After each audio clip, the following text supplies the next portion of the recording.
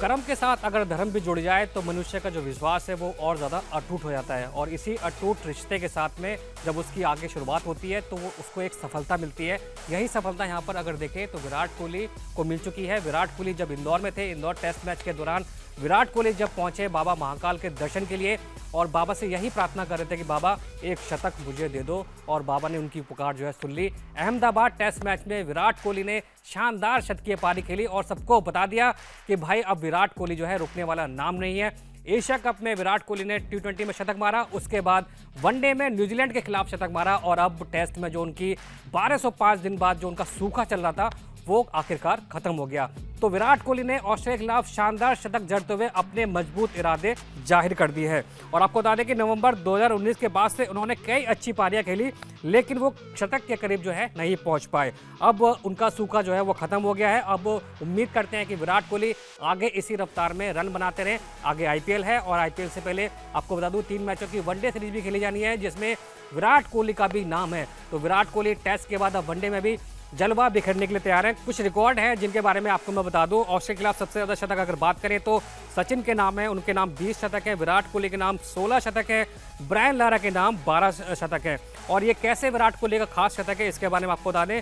नवंबर 2019 में कोलकाता में बांग्लादेश के खिलाफ विराट कोहली के बल्ले से टेस्ट शतक आया था और ये पिंक बॉल टेस्ट मैच में ये शतक आया था विराट कोहली के बल्ले से। और आपको बता दूँ कि 480 रन के जवाब में भारत को ऐसे ही शतक की तलाश थी पहले शुभमन गिल ने शतक मारा और उसके बाद में विराट कोहली ने शतक मारा। लंबे समय से भारतीय फैंस उम्मीद कर रहे थे कि विराट कोहली टेस्ट में शतक मारेंगे, लेकिन ना दिल्ली में शतक आया, ना नागपुर में शतक आया।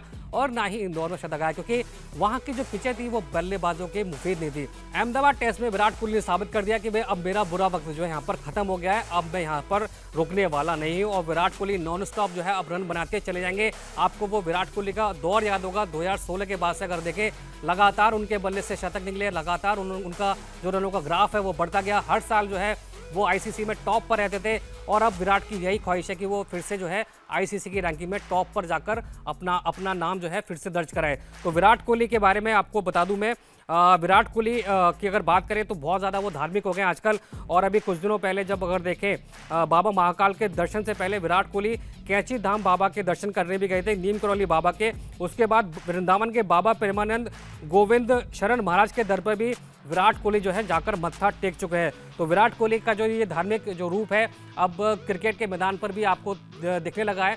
बाबा का आशीर्वाद अब पूरी तरह से जो है विराट कोहली के साथ आ गया है। अब विराट कोहली जो है रुकने का नाम नहीं ले रहे हैं। विराट कोहली से जुड़ी ये खबर आपको हमारी कैसे लगी, इसके बारे में अपनी राय हमें ज़रूर दीजिएगा। और इंडिया टीवी स्पोर्ट्स को सब्सक्राइब करना बिल्कुल ना भूलें।